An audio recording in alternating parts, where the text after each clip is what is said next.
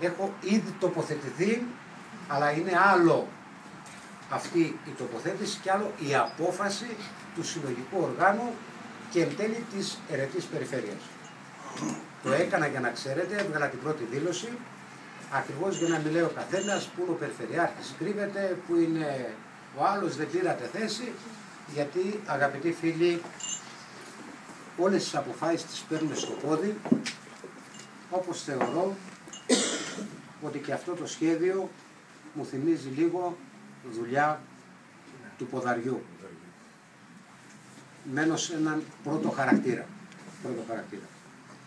Άρα λοιπόν ε, πριν το Περιφερειακό Συμβούλιο όπου και εκεί θα καλυστούν και οι εργαζόμενοι και οι φοιτητικές νεολαίες και οι δήμοι και οι τοπικές κοινότητες, οι παραγωγικοί φορείς αλλά και τα εκπαιδευτικά μας ιδρύματα να έχουν καταθέσει τη δικιά τους άποψη.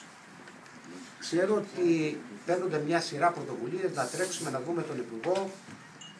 Α πω κάτι, αγαπητοί φίλοι. Τον Υπουργό δεν το χάνουμε, εκεί θα είναι. Θα τον δούμε. Το θέμα είναι να πάμε με καλή και δυνατή τεκμηρίωση των θέσεων που έχουμε να καταθέσουμε.